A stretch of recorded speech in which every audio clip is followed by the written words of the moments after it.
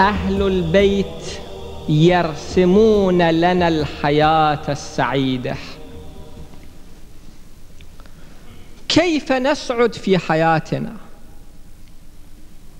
لماذا هذه المشاكل في كل يوم في أغلب العوائل؟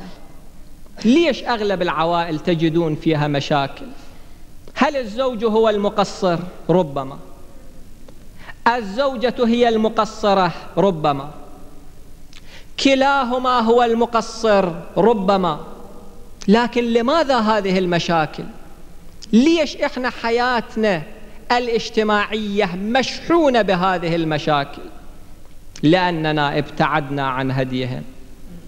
إن تراجعوا رسالة الحقوق للإمام زين العابدين صلوات الله وسلامه عليه الذي في هذه الأيام نحن نعيش في ذكرى ميلاده. والشروح التي كتبت على هذه الرسالة حقيقة إذا رسالة الحقوق إذا كنا ننفذها إذا كنا نفهمها ونعقلها ما كانت هذه المشكلات؟ كلمة تحل المشكلة بكاملها.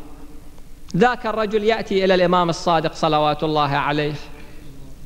يقول له علمني كيف أصلي.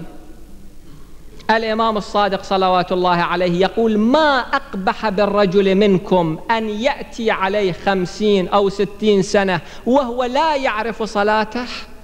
خمسين سنة عايش ما يعرف صلاته؟